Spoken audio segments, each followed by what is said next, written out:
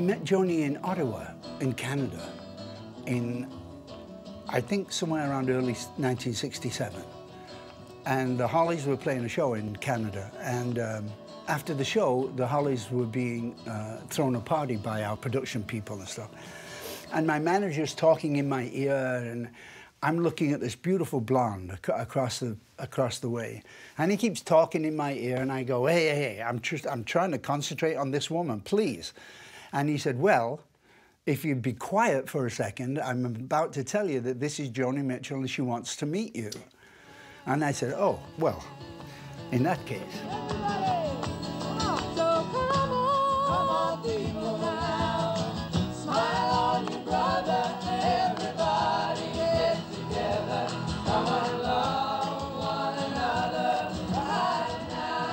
And um, that started a long relationship with John. We lived together in Laurel Canyon for a, a couple of years there. My memories of Laurel Canyon are beautiful. Uh, lots of sunshine, lots of freedom, lots of new music to make. Establishing my uh, relationship with David and Stephen and with Joan, of course, and then later with Neil. Uh, lots of drugs, lots of marijuana, lots of beautiful women with very few clothes. You know, it, it was an amazing time. I was in love. And I was with a brilliant, beautiful woman. I'd taken Joni to breakfast at a delicatessen on Ventura Boulevard in Los Angeles, in the Valley. And uh, we'd finished breakfast and we were walking back to John's car. There was this an small antiques store on Ventura Boulevard. and we were looking in the window, and, and Joni saw a vase uh, that she liked to hold flowers. Um, I, I, don't know, about 10 inches tall, clear, with, with hand-painted flowers around the edge. And it was, uh, it was reasonably cheap. It was, you know, it wasn't an expensive item, so she bought it. Um, and this particular morning in Los Angeles uh, was very grey, kind of miserable, kind of cold and damp.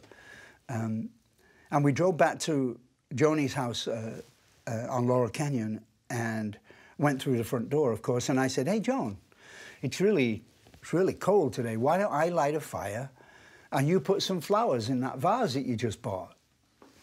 Want to hear how it turned out?"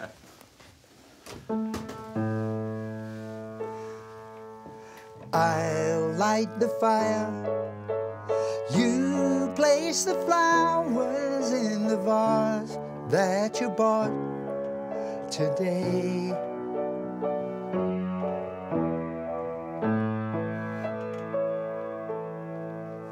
And that was the first verse.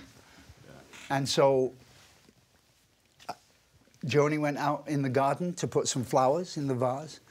And that meant two things. One, that she was not at her piano uh, and the second one uh, was that I was. she was out there collecting flowers, and I was writing my feelings down. Staring at the fire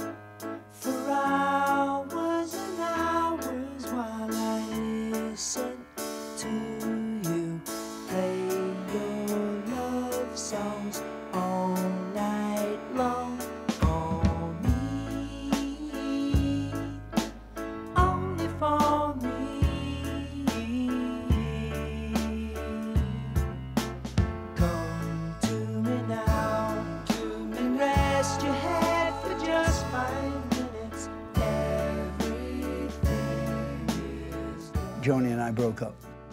I have a feeling that in our relationship, uh, we all we all make decisions based on our past. What happened to us as children, what happened to us as growing up. And I think that Joni thought that I wanted her to, uh, to give up being Joni Mitchell and just be in the kitchen. Which is the furthest thing from my mind ever. Hmm? Heartbreaking. But at least I have a heart to break.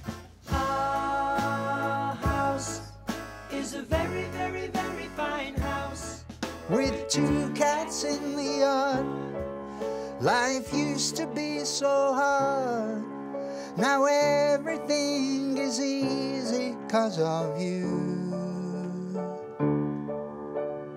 And uh, I'll light the fire while you place the flowers in the vase that you bought today.